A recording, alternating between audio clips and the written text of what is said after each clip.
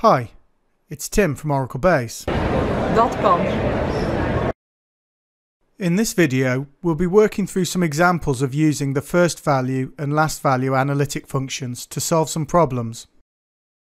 If you're new to analytic functions, there are some links in the description box, including an introduction post that will help you understand the basics.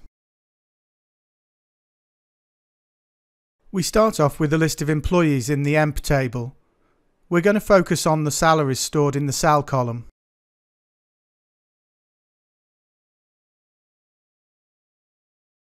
The first value analytic function allows us to capture the first value of the specified column or expression and present it in every subsequent row. In this example, we ask for the first salary. Notice the over clause is empty. When we run this, we see the salary of the first row returned was 1300, which is presented as the first sal value in each row. You may be surprised by that value, thinking it should have captured the lowest or highest salary, but it did exactly what we asked for. We asked for the first value and we got the first.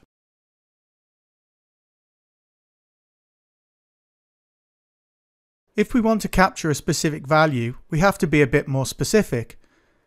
If we want to capture the lowest salary and present it on every row, we need to include an order by in the analytic clause. Here we order by salary, with the default order being ascending order. When we run this, we see the lowest salary is being captured and presented in each row.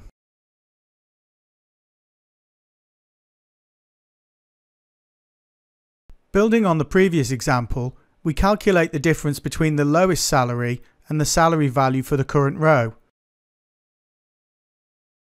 As expected, we get the difference between the two salaries displayed.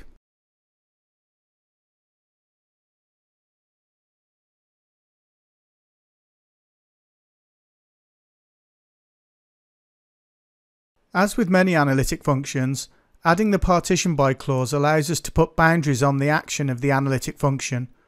By using partition by department, we're capturing the lowest salary in each department. As expected, the lowest in department column is populated with the lowest salary value for each department.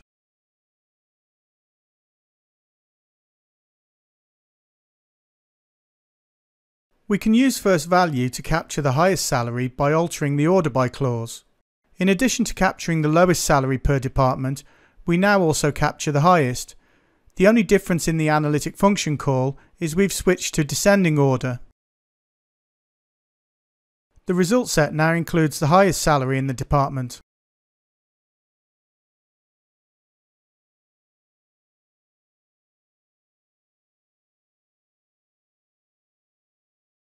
We could use last value to get the highest salary, but there's a trap waiting for us.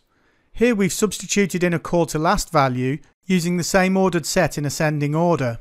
That sounds like we should be capturing the highest salary in each department.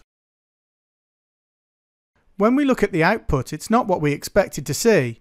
Instead, we seem to be displaying the current value again. This is because of the default windowing clause.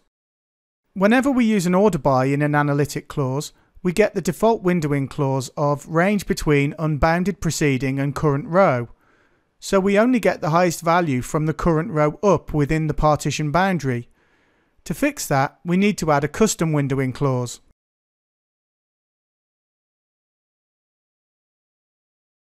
Here we've repeated the previous example, but added a custom windowing clause of rows between unbounded preceding and unbounded following this will allow the analytic function to act on all rows in the partition.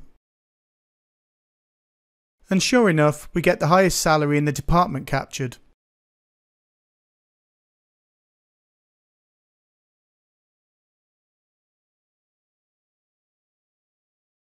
Using last value looks more complicated and seems to be prone to mistakes by the developer, so why not use first value and order the rows differently? Well, you can, but if you have multiple analytic function calls, each with a different order by, you're adding to the work that needs to be done to process the query. In this example, we want to capture the lowest and highest salary again. By using first value and last value, both using the same order by, the database may be able to take advantage of this and only order the data once for both analytics. Of course, we get the result we expected. Both the lowest and highest salaries are captured for each department. This should have given you some idea of what the first value and last value analytic functions can be used for. Thanks for watching. As always, there are links to articles containing lots more information about this subject in the description box below.